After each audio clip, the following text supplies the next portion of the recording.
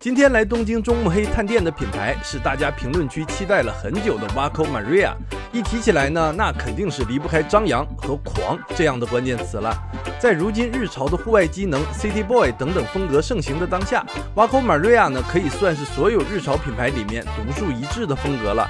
既拿捏了亚文化的审美，又能很成功的把狂贯彻始终的一个成名品牌。今天咱们逛的就是 Waco Maria 位于东京中目黑的旗舰店——天国东京。相信不少兄弟啊都听过这个名字，不仅呢能在店里喝咖啡，还能跟我一起看一看挖扣马瑞亚的代表作单品。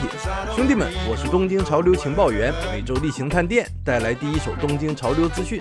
在此之前啊，我先跟大家聊一聊主理人森尊彦。和这个超框品牌是如何创立的？Waco Maria 的主理人森敦彦，一九七二年出生于兵库县，今年啊正好五十岁。曾经还是个足球少年的森敦彦，十八岁呢因为足球离开了家乡，来到了东京，在 club 里面啊接触到了雷鬼音乐以后，便一发不可收拾，从此呢就开始收集各种稀有的复古黑胶唱片。按照森敦彦的自述啊，那个时候的他甚至会把便携的唱片机带到了足球训练营。生活一刻都离不不开音乐。二十五岁从足球行业退休以后呢，开了一个叫 Rock Steady 的酒吧。之后啊，因为喜欢自己独有的风格的时尚，加上东京呢也有了人脉，就开始试着创立自己的品牌了。带着对音乐的热情，二零零五年，森敦彦和导演石冢启次创立了日本时尚品牌 Waco Maria。并把 Music is the trigger of imagination 作为呢品牌的一个核心。Waco Maria 的这个品牌名称起源自拉丁语，意思就是奇怪的玛利亚，把音乐、女性。美酒、爱、梦想和热情作为品牌设计的一个关键词，还有那一句“如果我是女人，就会爱上这样的男人”的 slogan。于是，一个狂野、帅气又浪漫气息的品牌就这样诞生了。二零一五年，在东京中目黑开设了第一家旗舰店 Paradise Tokyo，也就是咱们今天来探店的这一家店铺。进门啊，就是一个吧台，能坐下来慢慢喝杯咖啡或者喝酒。又能慢慢欣赏衣服的 Waco Maria 店铺，确实是有一点意思的。不过啊，先进入正题，看看衣服，一会儿呢再来休闲。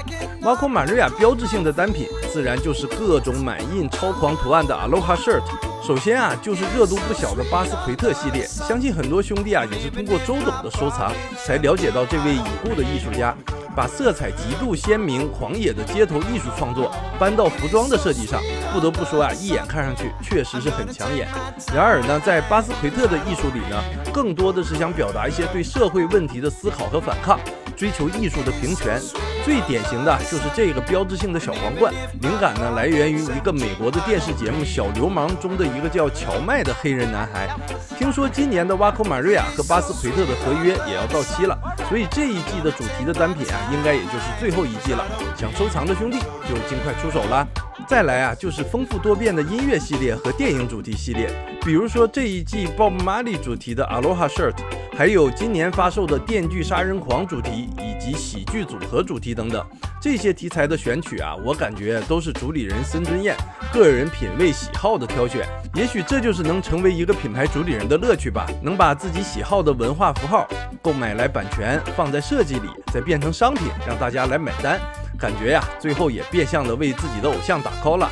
接着呢，就是大家熟悉的五六塔兔纹身系列。据说主理人森尊彦啊和这一家纹身店的老板私交非常的不错，风格审美一致，惺惺相惜，情不自禁。于是就有了这些大家非常熟悉的日式纹身系列。这个骷髅头的形象啊，确实是深入人心了。这个系列呢，也成为品牌最为标志性的招牌系列。寻找新锐的艺术家做合作款是 Waco Maria 的核心思路了。比如 Net Face 的这个街头涂鸦艺术家系列。还记得看到当时发售的这一款 Aloha Shirt 啊？怎么说呢？画的是真的大胆，穿着上街啊，面对大家的视线，必须有一颗社牛的心。还有每年话题度都很高的裸女系列，也是社牛必备。即使在东京这样比较多元的城市啊，也是很难看到有人穿上身。最后再来看一看真正让品牌家喻户晓的老虎系列，同样呢也是来自于纹身艺术。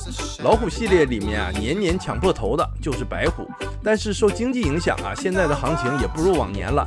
现在店里面啊，也还能看到不少的老虎的现货，也是前几年啊不敢想的。比如这一件橘虎，还有它旁边的兄弟虎。